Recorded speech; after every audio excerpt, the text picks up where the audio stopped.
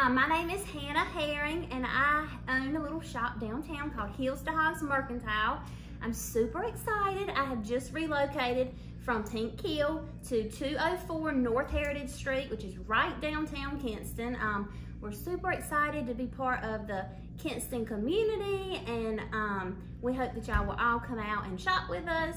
We have lots of fun, funky clothes. So our motto around here is bringing funky to the farm and there's definitely a story behind that. So we are hog farmers, my husband and I, and I left nursing to help him on the farms.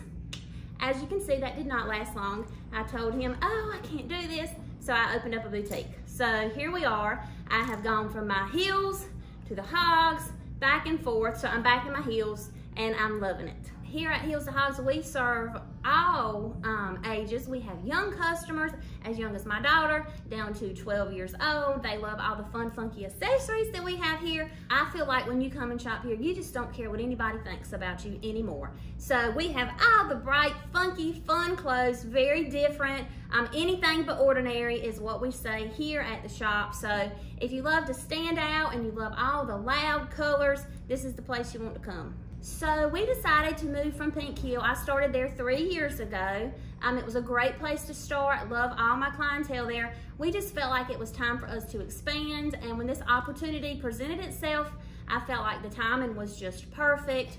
So we have stepped out and here we are. And we hope that, you know, we'll serve you well. So our hours are gonna be Wednesday through Saturday. During the weekdays, Wednesday through Friday, we plan on being here 11 to 6. And then Saturdays, for now, we're gonna try 11 to 4. We probably will expand those hours. I just want to see what the needs and the wants are for the, um, the ladies here in Kinston.